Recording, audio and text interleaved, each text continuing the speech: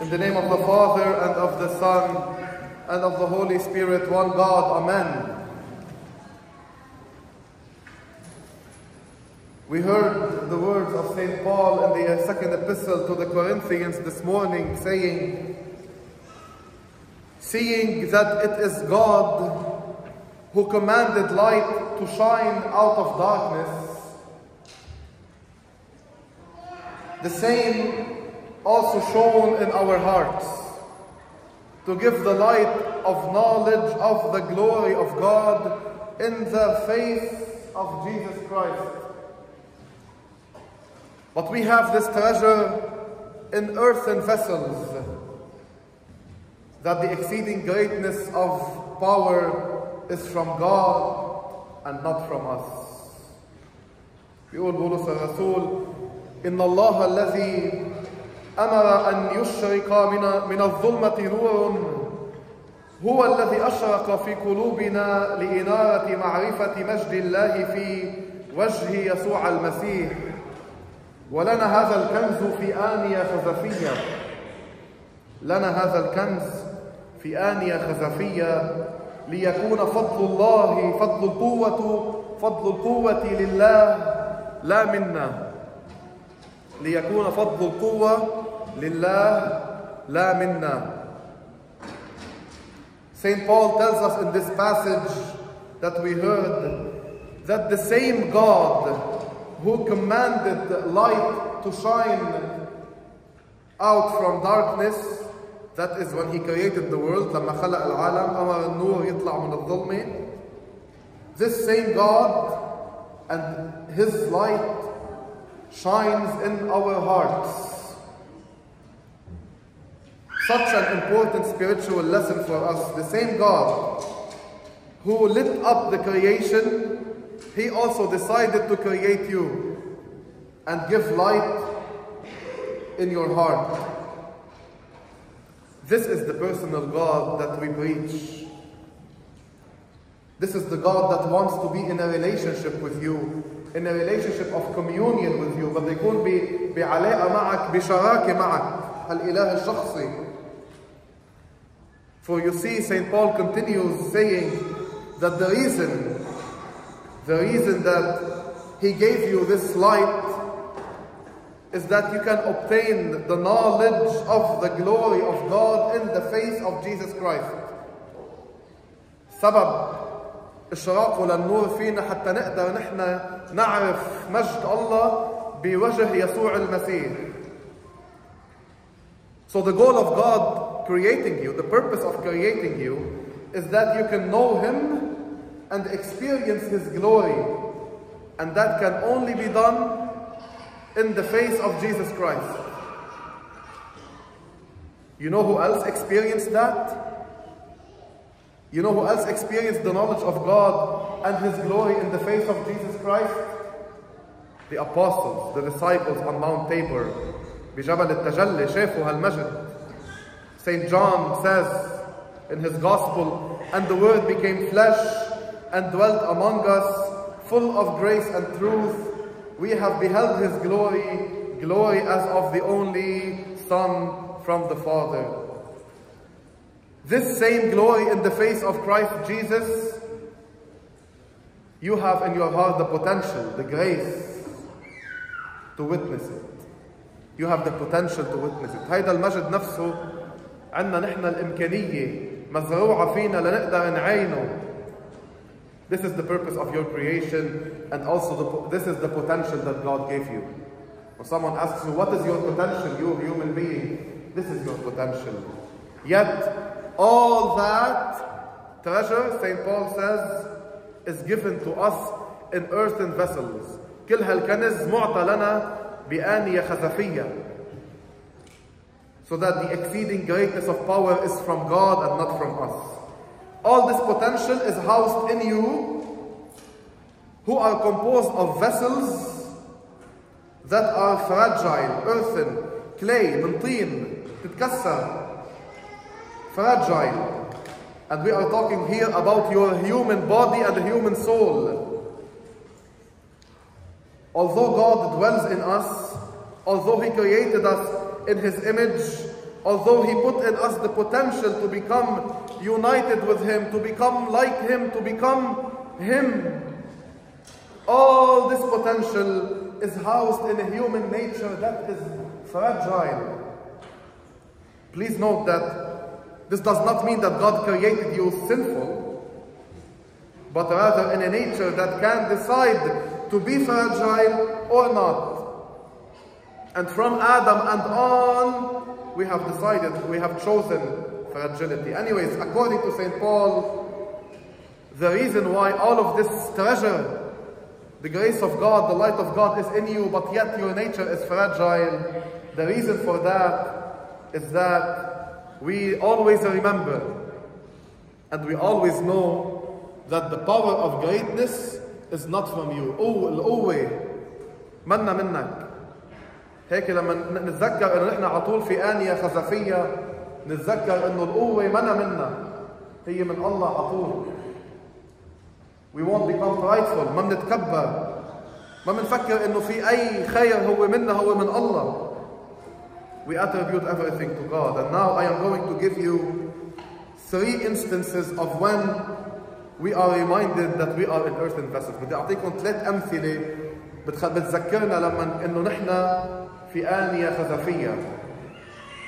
The first, whenever you sin, لما تخطئ أو لما تجربوا بالخطيئة, whenever you are tempted to sin, and whenever you submit to your sins and passions. Guys, every day, every day I wake up and I remember that I am in fragile earthly vessels. Every day, any small wind of sin threatens to break you, right? Every day we are tempted. Every day we are reminded that our bodies and souls are fragile. And any threat can break them.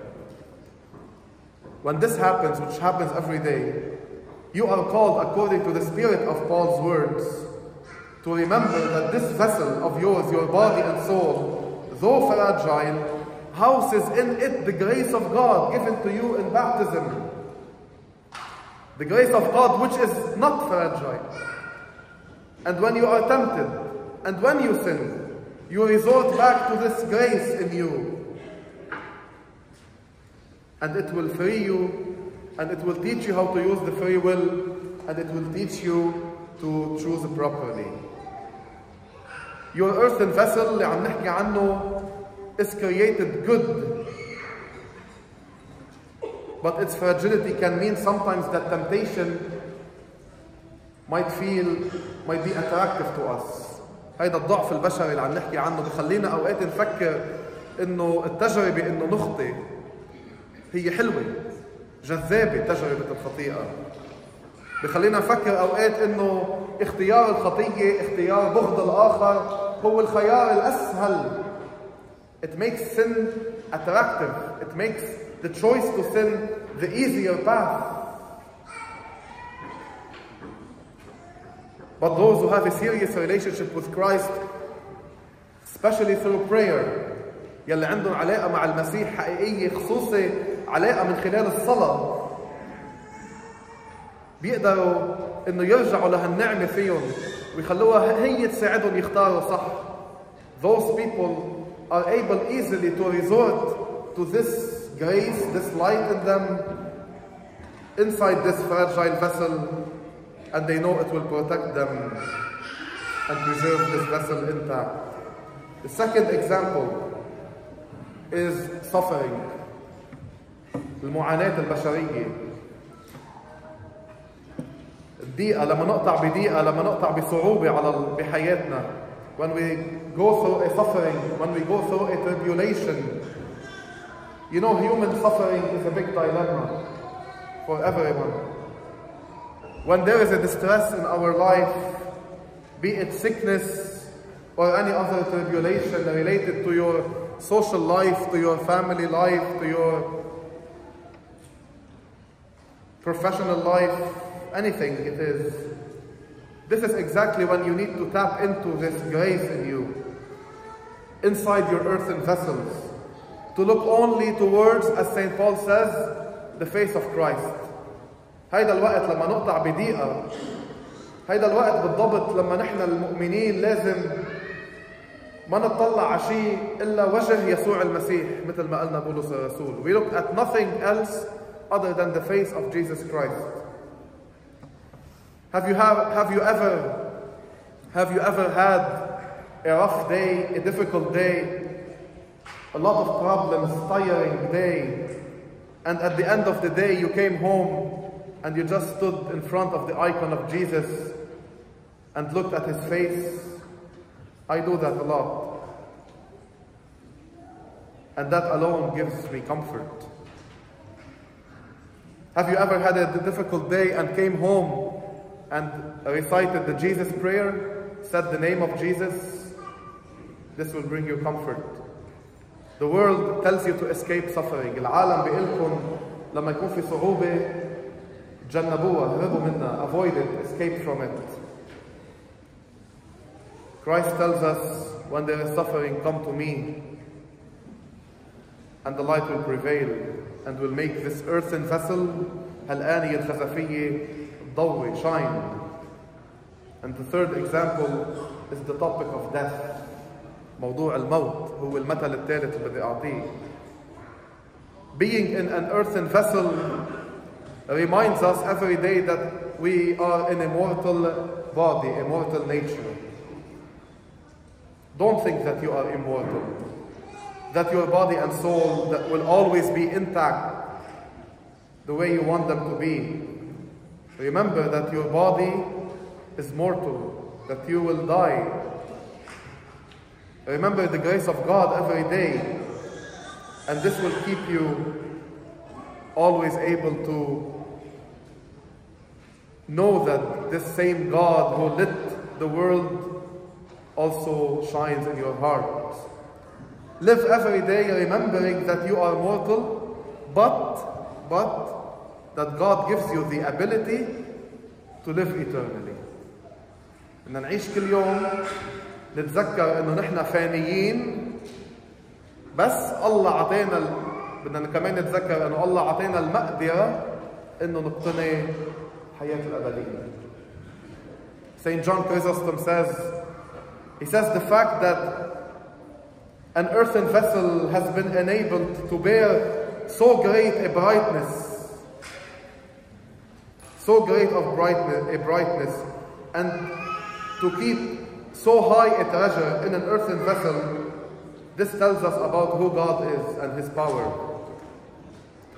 The treasure of God's grace in your heart is more potent than any fragility that you experience. Know that. Whenever you something happens and you remember, I'm fragile, I am weak, remember that God allowed that in this fragile nature, His grace is housed.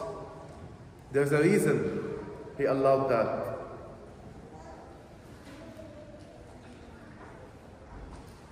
Usually, pottery, clay vessels, earthen vessels, if they fall and break, it is impossible to stitch them together and make it intact again.